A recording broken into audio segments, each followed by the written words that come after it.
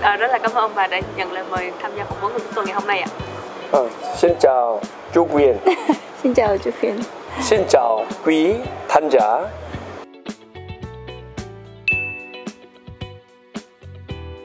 기억나는 것이 에, 여러 가지로 많이 있고 여기 베트남에 온 지는 정확하게 1993년 12월 달에 왔습니다.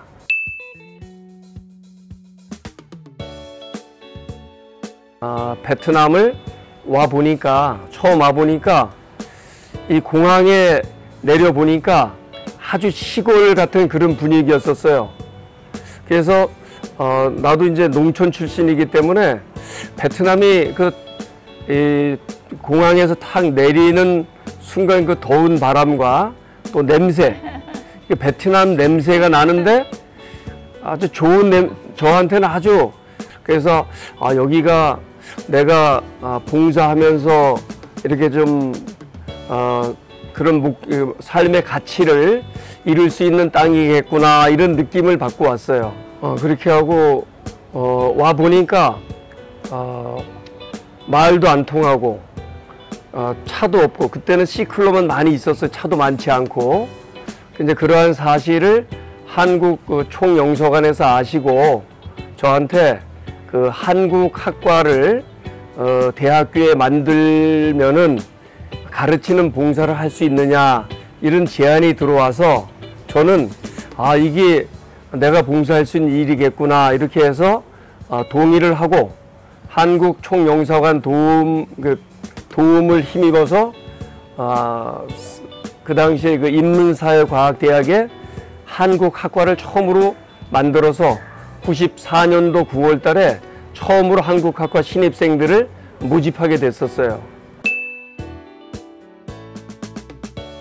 아, 그 당시에는 이 베트남에 한국어라는 말이 없었고 대신에 띵, 주띵, 조선어라고 그렇게 표현이 됐었어요. 아, 그래서 이제 처음으로 이제 아내와 함께 제가 한국 학과를 만들어서 커리큘럼을 다 만들고 또 가르치기를 시작했는데 그때부터 어, 띵, 쭈띵이 아니고 띵, 한국 이렇게 됐었어요. 그래서 지금도 아주 크게 보람을 느끼고 있습니다. 그 부분은.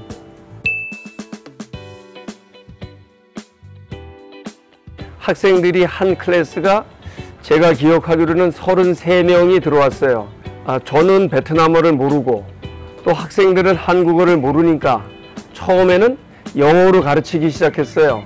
그래서 제가 영어로 가르치면은 학생들이 영어를 듣고 한국어를 배우고 그 다음에 저는 학생 단어를 하나하나 가르치면서 어, 이것이 베트남어로 무엇인지 그래서 저는 또 베트남어를 배우고 지금 생각해 보면은 지금도 그 33명의 학생들 이름과 고향과 얼굴 그런 것이 다 기억이 날 정도로 저는 그 학생들을 너무 좋아했고 사랑했고 또 학생들도 저를 너무 좋아했고 잘 따랐기 때문에 지금 생각해봐 아주 행복한 시간이고 의미 있는 시간이었다 이렇게 생각을 해요.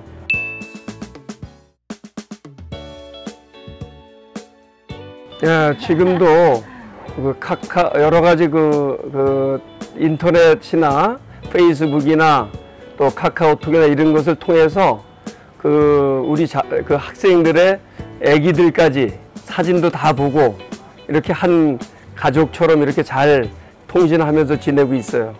어, 지금 이제 기억하기로는 어, 1회인 어, 94년 럽 찐모이 뜨 그리고 2회인 럽 찐모이 람 까지는 정확하게 잘 기억을 하고 있고 럽 찐모이 싸우 또 조금씩은 기억이 나요. 왜냐하면 가르치다 그때는 갔기 때문에 그 지금처럼 그 제가 베트남에 처음 오게 된 것은 어떤 돈을 벌기 위해서 어떤 사업을 하기 위해서 온 게 아니고 나의 삶의 가치가 작은 것이지만 좀 아, 베트남하고 한국하고 사이에 좋은 관계가 됐으면 좋겠다. 그렇게 그런 목적으로 처음 오게 됐고 어, 그래서 베트남을 좋아하게 됐고 이제 여기까지 오게 됐습니다. 저도 가르치면서 한국어를 잘 가르치기 위해서 베트남어를 열심히 공부해야 되겠다. 또 처음에 학생들을 가르칠 때 강의실에 들어갔을 때 학생들이 다 일어나서 정말 놀랐는데 한국은 동방 예의지국이라고 하지만 아 베트남은 한국보다 더 예의가 바른 학생들이 있구나 하고 깜짝 놀라서 그 조선일보라는 한국 신문이 있는데 거기에다가 아, 베트남의 예절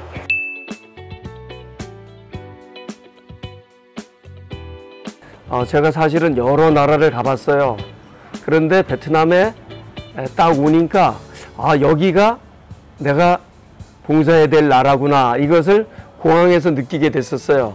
그리고 제가 베트남에 도착하기 전까지는 책이나 이런 자료들이 많지는 않았지만은 그때 보면은 참 사람들이 그 전쟁 이후였기 때문에 많이 각박하고 막 힘들게 살겠구나 이런 생각을 하고 왔는데 와서 보니까 시골 우리 고향보다 더 사람들이 마음이 좋고 또 아주 이렇게 푸근해 보이고 어, 그런 인상을 받았어요. 그래서 아 여기가 참 좋은 곳이구나 이런 생각을 가지고 있고 지금도 그 마음은 변함이 없어요. 아, 저는 그 베트남에 딱 도착하니까 아, 과거와 현재가 공존하는 것처럼 느껴졌습니다. 그래가지고 약간 시골스러운 모습과 또 현대적인 모습이 결합되어 있어서 굉장히 매력적인 나라로 느껴졌어요. 할 수 있는 음식이 첫째로 짜요. 그 다음에 음, 퍼도 한번 만들어 봤습니다. 그 다음에 이게 고이콘 같은 거 그런 거. 그 다음에 반미는 우리 아이들이 너무 좋아하는 음식. 예를 들어서 우리 아들이 둘이 있는데 아, 작은 아들은 이제 프랑스에서 박사를 받고 미국에서 그 연구원으로 있는데 지금도 전화해 보면은 베트남 음식 중에서 뭐 먹고 싶냐 그러면은 베트남 말로 반미가 먹고 싶다고. 그 다음에 고이꾸원 먹고 싶다고 그래요. 그래서 어렸을 때 베트남에서 자라서 우리 아이들도 베트남을 한국처럼 고향처럼 그렇게 그리워하고 또 어떨 때는 어, 먹고 싶다고 포 먹고 싶다고. 그래서 미국에서 포 가면은 베트남 포하고 맛이 다르니까 베트남에 와서 먹고 싶다고 그렇게 애- 애들도 베트남을 많이 좋아해요.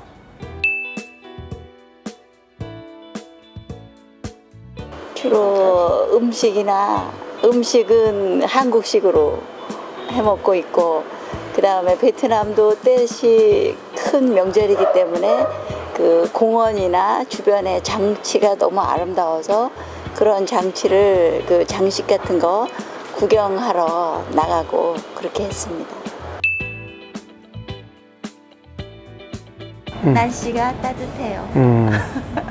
베트남에서 제일 좋아하는 것은 그 이, 이 삶의 템포가 한국은 뭐든지 빨리 빨리 빨리 해야 되는데 베트남은 좀 느슨하도 되니까 느슨하고 그 다음에 여유가 있고 아, 그래서 저는 일단 베트남이 사람이 스트레스를 안 받으니까 저는 베, 베트남이 그런 면에서 하나를 좋은 점을 뽑으려면 저한테는 어, 그 생활 환경이 에, 한국보다는 좀 이렇게 여유 있는 생활 환경이라서 좋다 이 생각을 합니다.